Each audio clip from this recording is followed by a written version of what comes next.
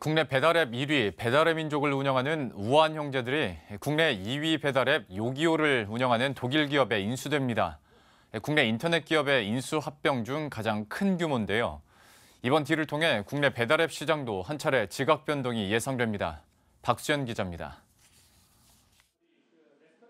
국내 2위 배달앱 요기요를 운영하는 독일 업체 딜리버리 히어로가 우한 형제들의 국내외 투자자 지분 87%를 인수합니다. 김봉진 대표 등 우한 형제들 경영진이 보유한 지분 13%도 향후 DH 본사 지분으로 전환됩니다. 우한 형제들의 기업 가치는 약 4조 7,500억 원. 국내 인터넷 기업 인수합병 중 최대 규모입니다.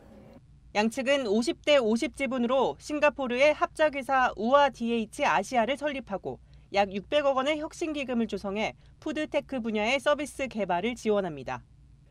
특히 김봉진 우아한 형제들 대표가 이번 합작회사의 회장을 맡아 아시아 11개국 사업 전반을 담당할 계획입니다. 우아한 형제들 관계자는 갈수록 치열해지는 국내 배달앱 시장 환경에 따라 이번 인수 합병을 결정하게 됐다며 이번 M&A를 계기로 국내를 넘어 아시아 공략 발판을 마련하게 됐다고 설명했습니다. 아시아를 배달앱 성장 가능성이 가장 큰 지역으로 보고 있는 딜리버리 히어로 측은 본격적으로 시장 선점에 나서겠다는 계획입니다. 이번 딜에 대해 IT 업계는 국내 스타트업으로 성장한 기업이 글로벌로 뻗어나가고 있다는 점을 긍정적으로 평가했습니다. 아시아 총괄로 배달의 민족의 브랜드로 전체 아시아 8개국은 다 배민이 까는 거라서 네. 스타트업 입장에서는 사실 글로벌 진출에 완전한 교두보를 좀 확보한 셈인 거죠.